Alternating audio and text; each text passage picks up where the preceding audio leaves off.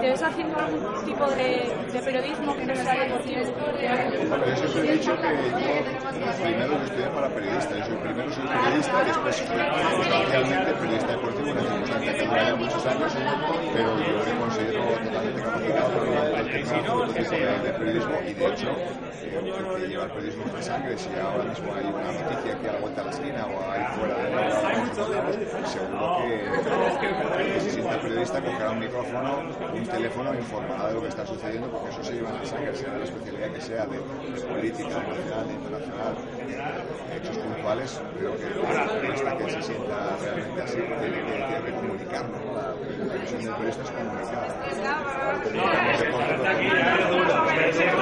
Y antes ha comentado también tu trayectoria por la radio, ya que uno de tus primeros trabajos de periodista fue en la radio junto a Joaquín Soler Serrano y a Antonio García. ¿Cómo recuerdas esta etapa?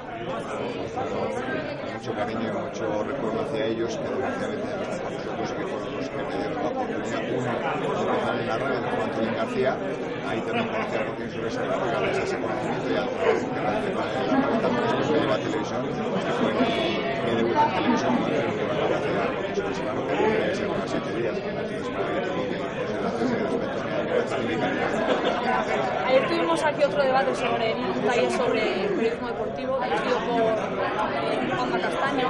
¿Qué te parece el nuevo concepto que han inventado, entre comillas, para hacer periodismo? ¿Qué te-? Eh, ¿A lo, al Deportes 4. El Deportes 4, bueno, es un sistema, está bien, es una especie de tertulia entre dos, hay que, bueno, lo que siempre nos han dicho, ¿no?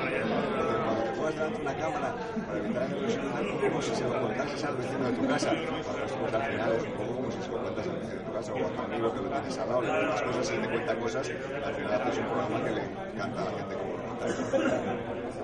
Y el fútbol, por suerte o por desgracia, acapara casi todas las portadas y casi todas las secciones de deporte de los informativos. ¿Tú crees que esto debería cambiar o...? Yo siempre digo que el fútbol en España es el, deporte es el deporte rey, ¿no? Eh, el, el atletismo es el, el- ver, el atletismo siempre decimos que es el, el deporte rey, pero yo creo que el fútbol es el rey de los deportes, por nuestro país. La prueba es que el refrán que también dice que de fútbol y de medicina todo el mundo opina, el fútbol es el deporte que más conoce la gente, que más debate, que más polémica genera, es el que se habla los lunes en las cafeterías, el lunes, martes, jueves, porque hay que jugar todas horas, ¿no? Entonces, bueno, nosotros en televisión Sobre intentamos ser más plurales, más polideportivos, hablar de más deporte, ofrecerle a la gente más opciones deportivas, también como medio que somos. Pero desgraciadamente al fútbol le dedicamos mucho porque también la gente demanda mucho fútbol, porque es lo que más quiere, lo que lo que más quiere.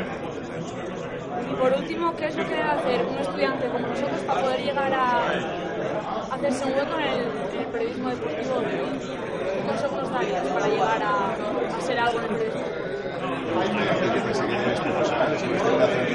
No, bueno, mira, simplemente, pues eso, que tengáis, que tengáis curiosidad, que tengáis ambición, que tengáis, eh, que, que, que, no- que nos, que nos importen los días, las horas para estar el cañón, eh, cubrir una información.